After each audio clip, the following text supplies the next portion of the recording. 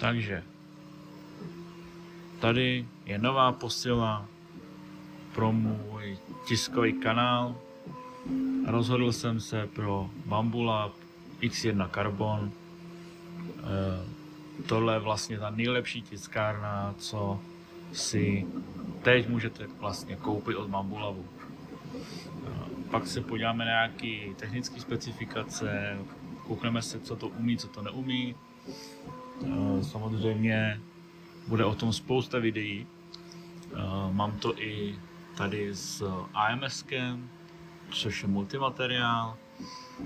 A musím z toho krátkého testování, cirka týdenního, musím říct, že uh, tahle tiskárna je fakt bomba. Jo. Snad jediný, co jakoby je na ní trošičku jako problém, je, že nemá tichý drivery. Můžete slyšet, že vlastně hraje, hraje ty fragrance těch posuvů. Jo? Ale to je snad jediná, jediná nevýhoda, kterou tady ta tiskárna má. Samozřejmě eh, pak si projdeme i menu, ukážeme si, jak se to ovládá přes počítač, ukážeme si, co všechno je v tom Bamboo Sliceru a bude o tyhle tiskárně bude velká série videí, takže se můžete těšit i na nějaký doporučený tisky, třeba takovýhle doporučený tisk, to pak vysvětlím, to je taky docela důležitá věc, co si musíte vytisknout v této tiskárně. Pak samozřejmě tady se můžeme podívat na na škrabku, která je v paměti tiskárny.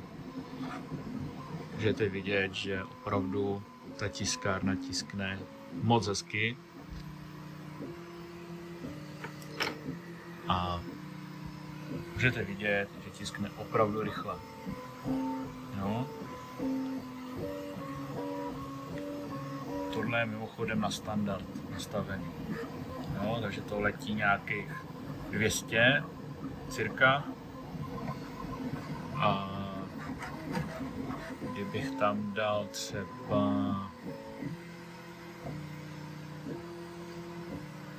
kdybych tam dal pak třeba silent, tak to zpomalí, ale je to furt slyšet, takže to nemá smysl.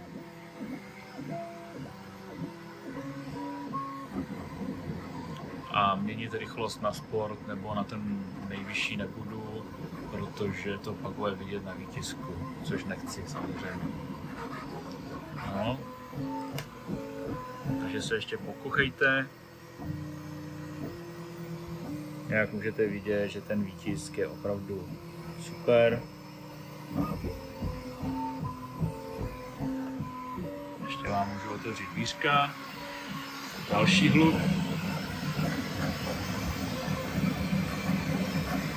Můžete opravdu vidět, že je super.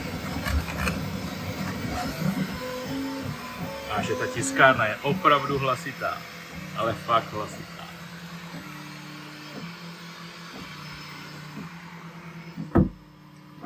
Takže se těšte na další videa s X1 Carbonem.